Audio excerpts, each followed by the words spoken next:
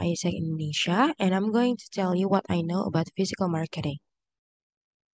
So before that, we are going to understand what are the objectives of this session, in which the first one is physical marketing as part of integrated marketing, and the second one is to understand the seven P's of marketing, and the last one is to understand what are the physical marketing strategies that you can try and downscale to your LC members.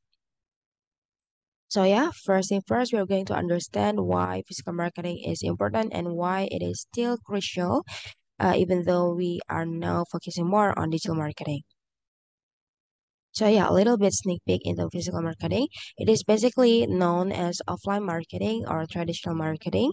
It refers to any promotional activity that uses physical materials or channels to reach and engage potential customers. And it is highly important for organizations like ours to do this because it helps us to build brand awareness, promote products and services, and also establish personal connections with customers.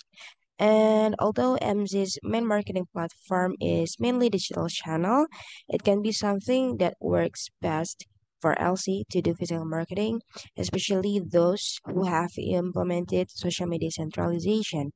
And while digital marketing is helpful for us to reach diverse and a very wide range of audiences, um, it's still certainly hard to reach niche market.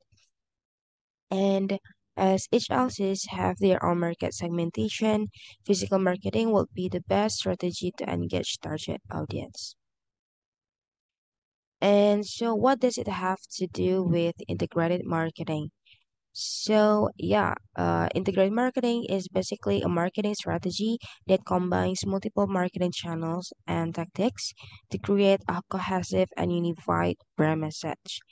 And the goal of integrated marketing is to ensure that all aspects of a brand's marketing efforts work together to create a consistent and effective message that resonates with our own target audience. And in an integrated marketing strategy, physical marketing tactics are often used in combination with other channels to create memorable brand experience for customers. So we have a balance between digital marketing and uh, physical marketing and we convey the same one message that aligns between those channels. And we're going to move on to understanding the seven P's of marketing. This is highly crucial for us to be able to create a framework for physical marketing strategies that we don't scale to LCs. And I'm going to explain every single elements of the seven P's. The first one we have product. This is basically what you're selling. Uh, so you need to really understand what kind of product that you sell, whether it is high quality or not, whether it meets the needs of our target or not, and whether it is uh, unique enough to stand out from the competition. So you need to be able to define all of those things. The second one is price. This is basically how much you're charging for your product. And you need to also uh, be able to tell whether it's affordable or not and who are the market that is able to afford our um, the price of our products and you need to also be able to define whether uh, the price that we have the price that we charge for these products reflects the value that we offer to our customer the next one is place. This is basically where you're selling your product. You need to know uh, what are the channels. You need to know where you need to do the physical marketing. And it's very important for you to define what are the locations that is available and what are the locations that are very easily accessible for your customers. And the next one is promotion. This is how you're promoting your product. So you need to be able to define what are the promotions you need for the customers to be able to be aware of your products. And this is also important for you to create a compelling message throughout all of the channels that you use that speaks uh, to the needs and interests of your target audience. The next one is people. Basically, you need to understand and be able to define who are the people involved in the product that you're selling. Uh, it can be your members, it can be the EP managers, it can be the um, organizer of the program and it can also be the partners that we engage for our products.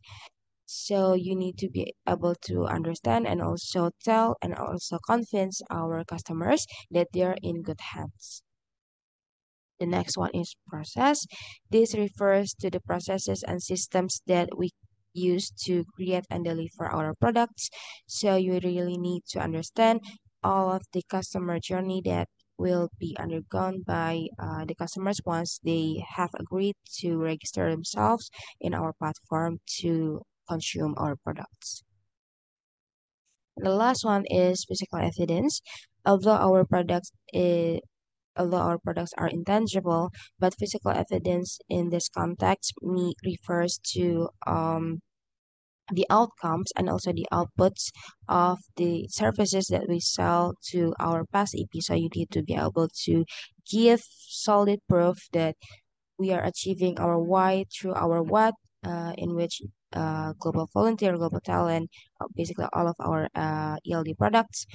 And this is uh, to ensure that your customers are confident, uh, your customers trust uh, our organization and the value of our products. So yeah, understanding those elements will help you to create a perfect and also a personalized uh, marketing strategy that best fits uh, the interest of your target audience. And now we are going to move on to uh, the physical marketing strategies that you can try. Uh, the first thing is info booth. This is like one of the most classic, the most easy to do um, physical marketing, but also uh, very hard actually.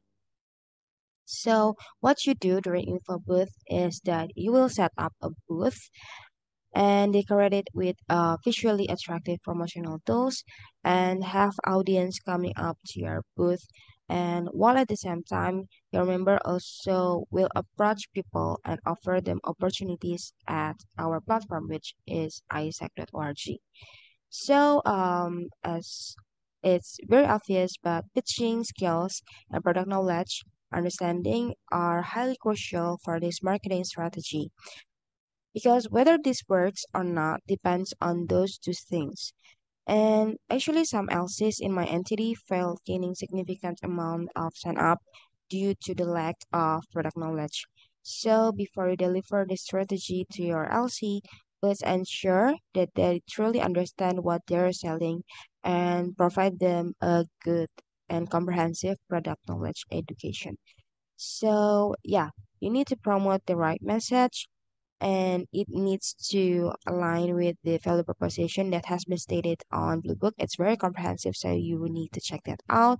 And also, you uh, have to have a set of opportunities that you can show uh, so that people who come up uh, to your um, booth, they will be under understand what kind of projects that they will do and what are the destination countries that they can go for volunteering or exchange abroad.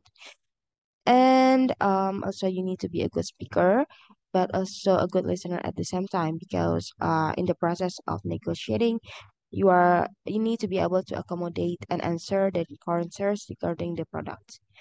And the last one is to set uh, your target sign up and also call to action. But I will actually personally uh, suggest you to have specific CTL link for each product. Like for example, if you're uh, promoting Global Volunteer, uh, the CTA would be aiesec.org slash global volunteer so that the number of sign up goes straight to the record of uh, GV on Expa. So it will have the um, PIC of the next funnel to nurture the leads. And uh, our suggestion is for you to conduct it at least thrice a week because this number is not too much to make people sick of seeing uh, you, but not too little to make people forget about you at the same time. And yeah, these are the example of uh, info booth, but please note that we are no longer allowed to use flags in our promotional tools and also physical marketing activities. And the next one is infocation. Infocation is basically uh, a space that's specifically dedicated for us to explain everything about the products from A to Z. And to make the invitation more convincing for our customers, it's crucial to have an uh, EP returnee or at least a good speaker from the operation team who is able to give comprehensive explanation and even testimonials about the experience that they have uh, gone through and how the system of our exchange will work. And during attraction peak, we usually do this once per week, but we will mix the methods. So sometimes it can be physical, and the other time, uh, we conduct it through Instagram Lives.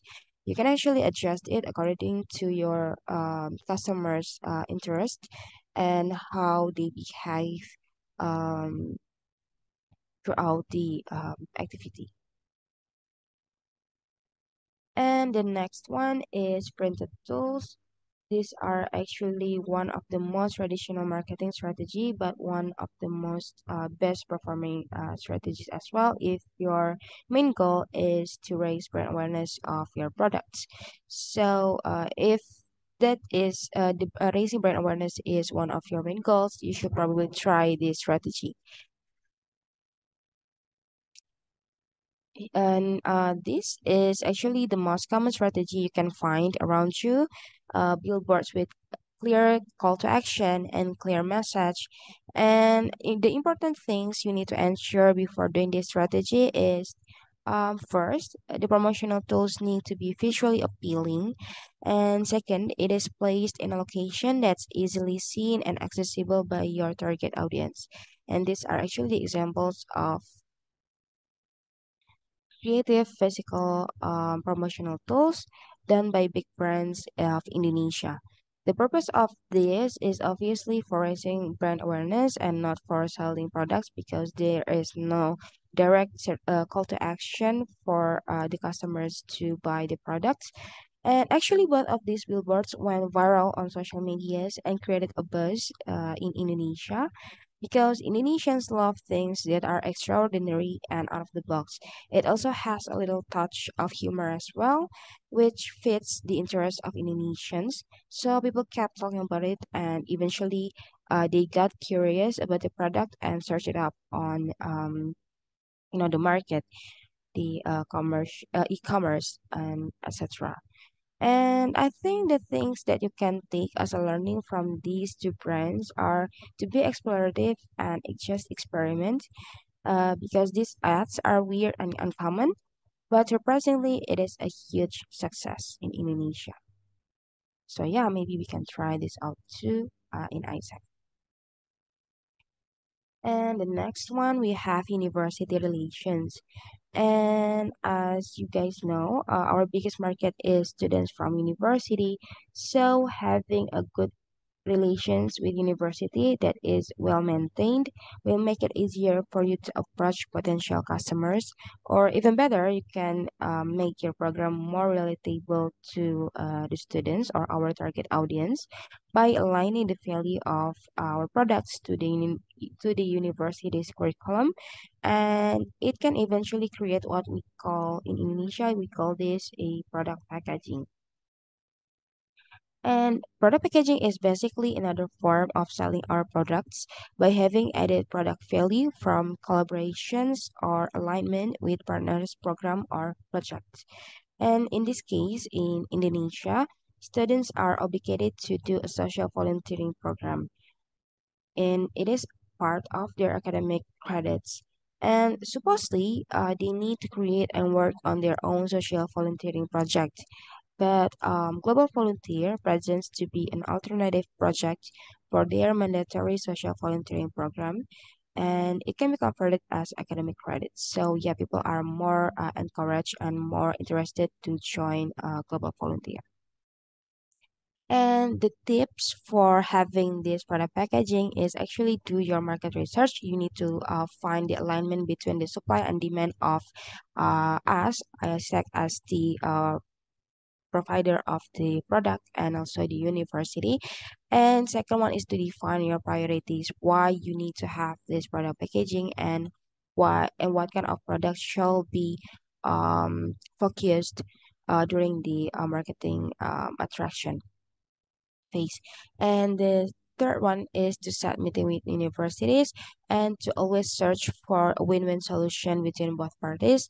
And once you already get the relations, please do maximize it to the best of your ability. And you can actually um, not work on this alone. You can engage uh, your MCVP of partnership or in In- Indonesia, we have external relations.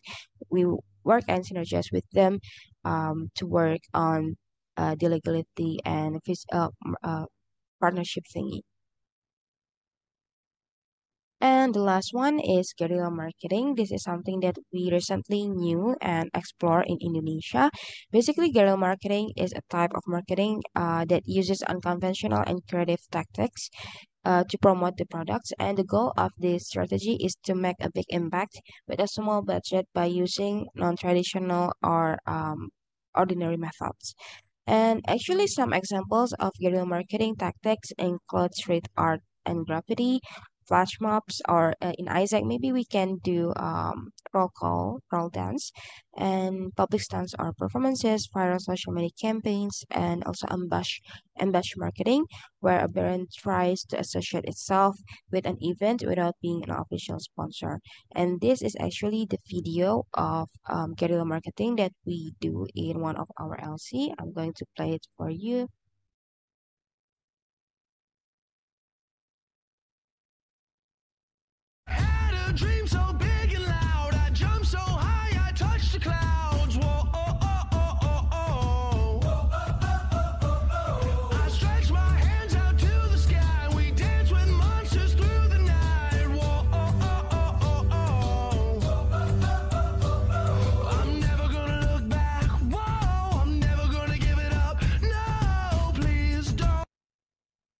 So yeah, that is uh, an example from Indonesia. We did the guerrilla marketing uh, for our national IWA program called Local Project, and the concept is for the Blue Men to walk around the university to make people reflect about what they have done for Indonesia, and in the end, after they have told uh, what have what they have done for Indonesia, we encourage them, uh, the customers, to take part in contributing to the development of our nation through our program, which is Local Project. And this strategy actually was very welcomed by our audiences. They really liked that we were not only selling but educating them in the process as well. They found it to be interesting and entertaining. And this creates um, what uh, is aimed by guerrilla marketing, which is to create a buzz and interest uh, without breaking the bank. So, yeah.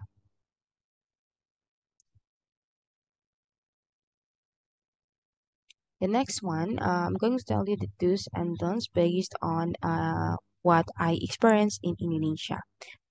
So the first is to understand your market segmentation and customer persona because the purpose of physical marketing is to reach niche markets. So you really need to be able to define the market segmentation in which most of your customers are coming from. This is to ensure you don't waste your time, energy, and money to attract people that not fit the persona of our products. And the second one uh, is having an adequate knowledge of the products you're selling. Like what I've mentioned before, product knowledge is highly crucial. And as MC, we often forget about this because this is one of the most basic thing to understand, right? But turns out not every members in LC actually understand the importance of knowing how the product works, its benefits, and the customer journey the potential EP will go through. So um, ensure you provide enough knowledge for your LC members about the products they will sell. And the third is to attract your audience visually. Have personalized physical promotional tools according to the place you're doing the activity in. This is so that you don't have to always approach people awkwardly because when people are visually attracted to your promotional tools, they will come to you automatically without having to be intensely encouraged. And that also means you succeed in grabbing their attention and interest. The fourth one is practice your pitch. Um, because physical marketing, especially for info booth and info station, are all about negotiation and convincing people to do something. It's all practical experiences. So before they jump into the execution of the strategy, make sure members practice their skills in advance. And the last one is to synergize with operation members during the physical marketing activity. And operation members need to in also involve in the marketing activities so that they'll be able to nurture them directly and prevent lost customers. And for the don'ts, the first is to conduct the marketing activity without clear target, goals, and understanding of customer persona because physical marketing can get overwhelming sometimes.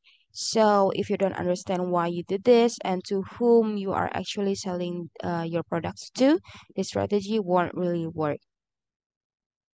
The second one is to forget. Please don't forget to introduce AIESEC. This is actually simple and very basic, but often forgotten, which can make people questioning about the credit credibility of not only you as the seller, but also the product as well. And the third one is please don't have scattered attendance database. So it's crucial for you to have attendance list to ensure those who come visit you during uh, your physical marketing continue their journey and register to aiesec.org. So ensure that it's not scattered to make it easy for the operation team to nurture them. The next one is please don't wear or use inappropriate physical promotional tools Please always refer to Blue Book. Make sure there is no brand violation. Next one is to please don't ignore your potential customers after they have successfully registered, but nurture them. This is something that marketers tend to forget. Uh, so make sure that you have a nurture plan and divide the PIC with your operation team so you know your strategy is working significantly. So yeah, you can check these resources to learn more. And that's actually it from me, Milan from AIESEC Indonesia. Thank you and good luck.